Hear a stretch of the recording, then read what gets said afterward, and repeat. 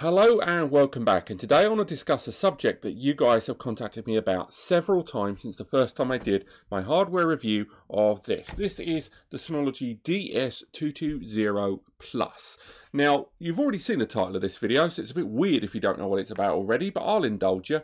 Um, so ever since I did the hardware review of this as well as we did the uncoverings of that Synology PDF leak a few weeks ago we started talking about the memory available on these devices. And just like its predecessors before it, the DS220 Plus um, recommends that you only utilize Synology's own memory. That is their own brand of memory.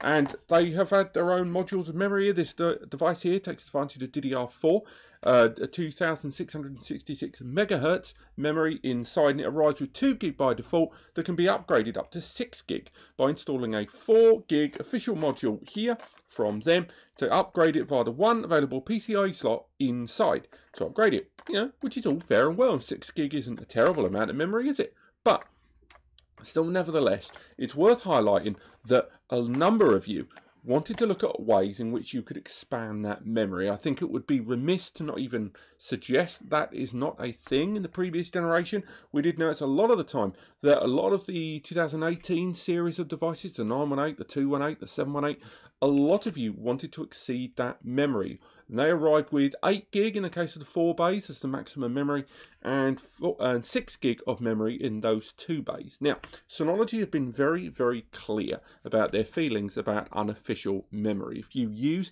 unofficial uh, memory from companies like Crucial or Kingston and you install that memory inside your device, you are almost certainly invalidating your warranty as well as putting your data in danger. They have been very clear about that. And again, I'm not one to argue with them or you on that. I think there are advantages for both of them, but there's also the stability of your data is a very real concern.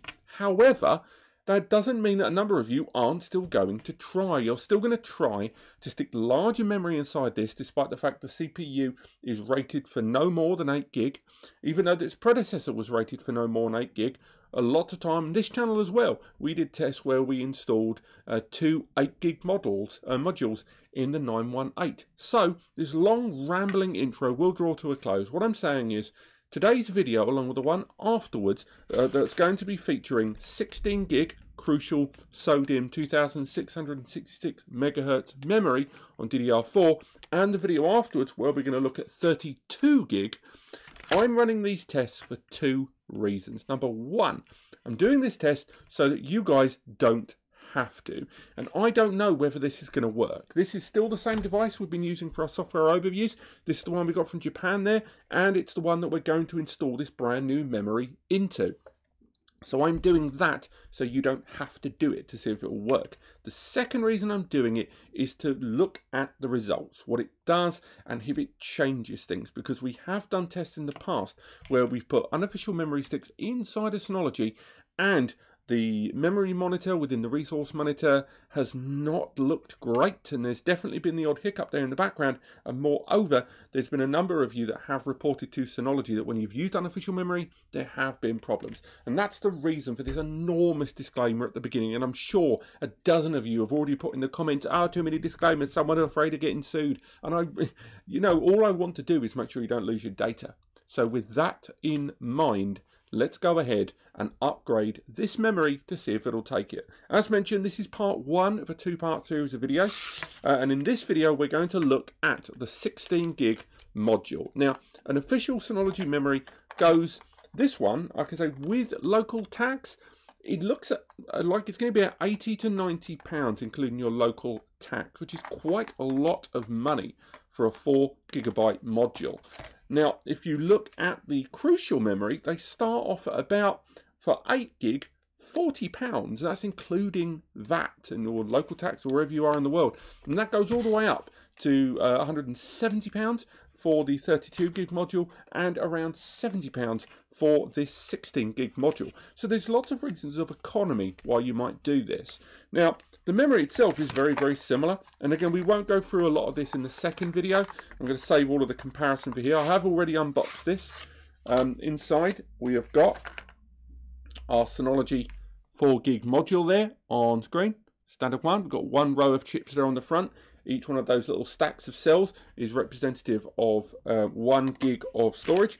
And if we open up the 16 gig of crucial memory, let's get that pop open. Sorry about my proximity to the mic. There's been a lot of moving around for the Plex tests recently. Um, and if we have a look at the crucial memory, this is a crucial 16 gig. So as you see there, with this memory here on screen, you've got the Synology memory there, and you've got the crucial memory there. And that's one that's got 16 different cells there. Each one of it's eight on one side, eight on the other, and each one of those is representative of one gigabyte of DDR4 memory. So they're very similar. They're both SO-DIMM and they're both 2666 megahertz. Neither one of them is ECC memory. They're both standard memory there. So we will now install this crucial memory. And it's quite straightforward. Remove the front panel there. Remove your bays. Try to keep track of which bays are which it's not the end of the world because things like SHR will work out which bay is what, but I still wouldn't risk it. And I'd make sure you remember bay 1, bay 2, what the bays are you're removing if you attempt to do this. But remember the whole point of this video is so you don't have to. So, there is the crucial memory. Inside there, you can see the memory bay there just behind the LEDs. And before I go any further, it is also worth highlighting there is a second memory bay in here but first and foremost, you have to pretty much strip this whole device down to its component parts in order to get to the second memory module behind this metal panel. Secondly, you're not only invalidating your warranty in a big, big way doing that, but also there's no guarantee it's going to work and chances are you're also going to potentially brick your system if you do it wrong, both by accidentally scratching the circuit board or messing around to a point where the OS is just not going to function. So I am not recommending right now to go ahead with that panel because I do think that's a step too far for a lot of users. So I'm going to get this memory module in here. And again, there's the bay there. I am going to need both hands to do this. Um, make sure you're, it's label first. I'm going to slide that in there. Put that into the bay. Press it down and you hear that click there? That click means the memory module has now been installed. So, I've installed our brand new uh, Crucial Memory module, and what I'm going to do now is go ahead and put these drives back in, reconnect the power, reconnect the LAN connection, and get this device up and running. Now, again, I know I keep throwing disclaimers at you guys, and I know it's irritating, but do not try this unless you are fully prepared to accept the possibility that you're about to invalidate your warranty and potentially brick your system. So if you're going to do this, know the risks, know why you're doing it, and whether it's worth the economy and the money you're saving. I'm doing this so you don't have to, and I will stop saying that. The other thing to bear in mind here with this system is I've already set up DSM on this. I've done the latest version of DSM. I installed a bunch of apps already, and I've had the device running for something like three days to five days solidly. So this device has already been on for a long amount of time and running. If you're going to do something like this, and I recommend this, even if you're installing official memory, make sure you've installed the software first. I recommend that you install the software with the base model and then get the latest firmware update, power the device down, then install your memory and then re uh, and repower the device. Don't try to do it from a default build. There's no real reason against it other than the fact that the flash model in, module inside may be preset to the original uh, configuration and maybe it's been tested before you've used it, you know, for quality control and stuff like that, or maybe you've purchased it on eBay or something. So always make sure you have got the default OS up and running in its existing state on the baseline model. Then power down, install your memory. But I'm going to start connecting this device up and get this device booted and show you guys what exactly you will see when installing this memory on DSM. Let's flick over to the screen. Right, so we've rebooted our DS220 Plus and I've searched the local area network. I'm going to research it now just to show you guys what it looks like. I've not logged into this device yet. I wouldn't be surprised if there's some kind of pop-up just as I go into it. But this is the DS220 Plus here at the bottom. You can ignore that top now as we're preparing for another video coming very, very soon. And for now, we're just going to double click the 220 Plus and log into this NAS. Now, this is a device that was working fine before, so it'll be interesting to see what happens here. if we've got any conflictions. There should already be a whole pile of different options built into the device in terms of applications that I've been utilizing. And if we go into the resource monitor, this will be our first indication of whether we can see this memory. So the overview doesn't give us a vast amount to be going on with here. It is highlighting the memory utilization is quite low at the moment. If we go into the memory options, we can see down here, and it has recognized that stick. At the very least, it has seen that 16 gig module that's paired with the internal 2 gig.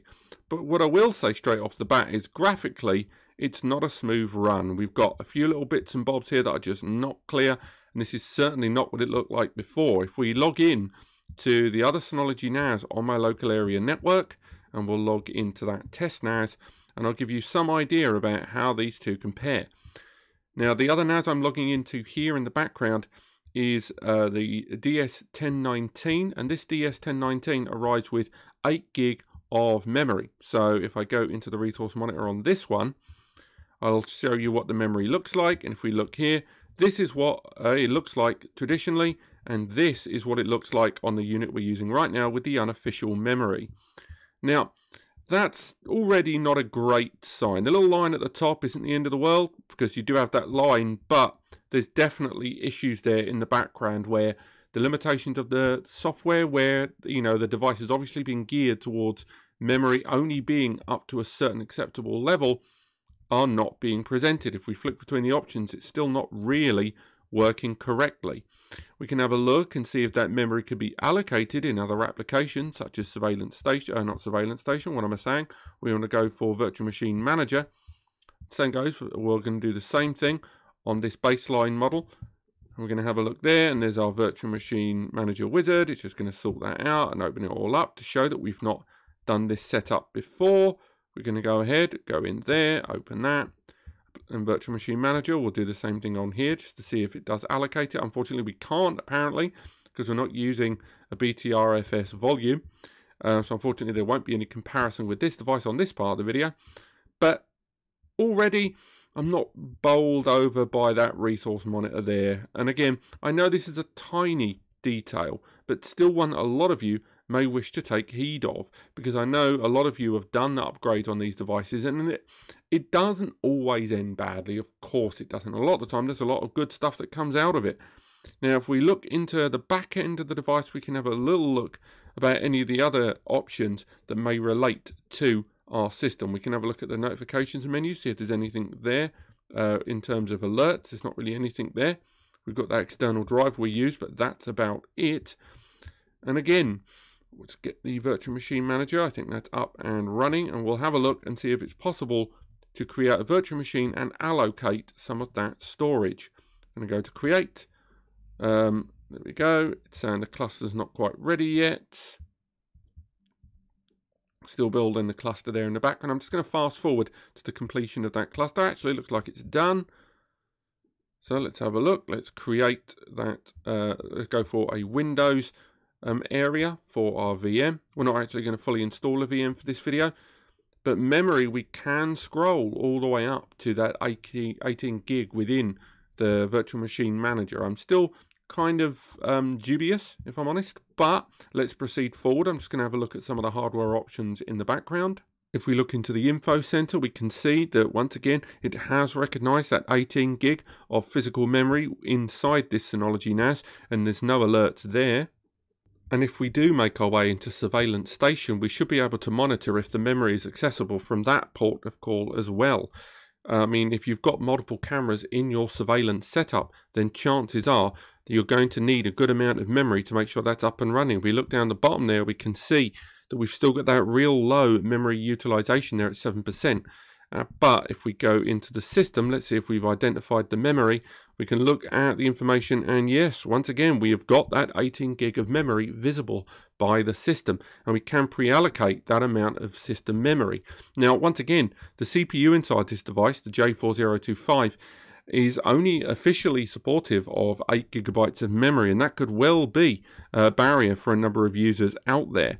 I mean, the device has booted, there's no denying that, and I'm not going to say this has been a flawless setup of that memory, given the way that chart was being a little bit disruptive there in its overall um, performance there. But overall, I would say that this system does seemingly accept that memory. But what it's going to do long term and the fact that a lot of these graphics are not working is something that I think is a real concern. And if you are going to be utilizing a NAS device and you're going to be heavily relying on both the Synology license and the Synology software, this might be enough of a reason. I can certainly see the temptation why a number of you would go for enhanced memory and installing crucial memory inside your Synology NAS is, and I won't, you know, I can't lie to you, I have done that myself in the past. But more and more we are seeing Synology kind of crack down on this stuff, and I think the software glitch here is enough of a concern to at least give you slight pause for thought. But we will be doing further testing in our next video with the larger generation of memory, that 32 gig SSD and um, uh, DDR4 memory module, I should say, in SODIMM. And of course, maybe, maybe one day we will try to look into that second memory bay. Personally, I'm not sure it's worth it in the long run, but if you guys keep asking, I'll do it for you. Otherwise, thank you so much for watching. I hope you found this video helpful. Do click like if you've enjoyed the video, click subscribe to learn more, and check out the article in the description. Otherwise, I will see you next time.